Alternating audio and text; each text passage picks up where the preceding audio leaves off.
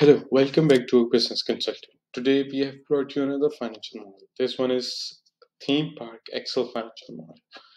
As you can see over here, it includes the input sheet, revenue analysis, uh, analysis sheet, marketing budget, startup summary, financial statement, financial analysis, CSCLV analysis, working sheet, and dashboard. If you come to how to use, you can see that each cells uh, indicates the input cells, whereas the gray cells are the formula results and the light gray fonts are the helping cells. Coming towards the input sheet, the input sheet includes the funding assumptions, the revenue and cost assumptions, customer and marketing budget assumptions, as well as capex and opex assumptions. It also includes working capital assumptions. Coming towards the revenue analysis, the revenue analysis gives you the uh, number of new customers in the next five years that are being forecasted on annual and monthly basis. As you can see over here, it goes up to 60 months. Then comes the uh, then it gives you the total revenue from them and the cost of service. Coming towards the budget, uh, marketing budget sheet. This one tells you about the uh, marketing, uh, digital marketing cost that will be incurred uh, or occurring in the next 60 years, uh, 60 months uh, of the company's functioning. Then comes the startup summary, which tells you about the company's first year functioning. That is, it tells you about the company's first year's total fundings, total expenses, its total assets, liabilities, and equity. It also gives the total additional funding that would be required in the first year. Then comes the financial statements.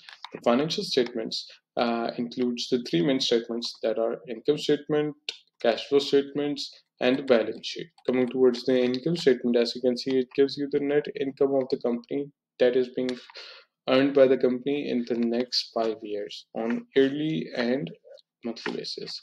Then comes the cash flow statement, which tells you about, about the cash inflows and outflows of the business uh, through its operating, financing, and investing activities. Then comes the balance sheet. The balance sheet, uh, sheet tells you about the total assets of the business, its liabilities and equities, and compares them uh, with the total assets. As you can see over here, it shows the balance check that is if the balance sheet is balanced or not. Then comes the financial analysis sheet. This sheet includes the break-even analysis which gives you the break-even sales of the business. Then uh, it also includes the company valuation which gives you the WACC of the business as well as the expected equity percentage that would be offered to the investors. Then comes uh, the sensitivity analysis which uh, gives you the uh, companies functioning its NPV, uh, IRR, and payback period uh, for three different scenarios that are actual, optimistic, and pessimistic.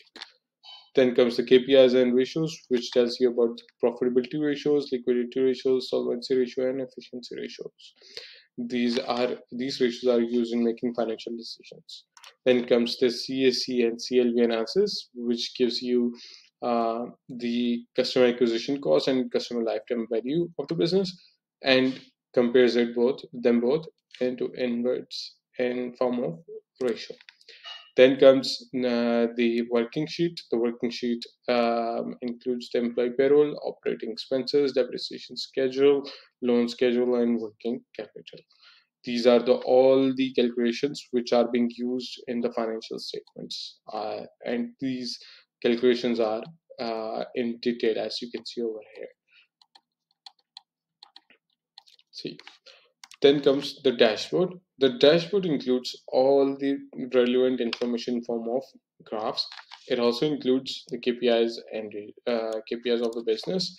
Uh, these graphical content uh, content basically helps the business in having um, uh, in making financial decisions much easily and fastly uh, as possible as fast as possible. That's it. Uh, this is the end of the video. Thank you for watching. Do like and subscribe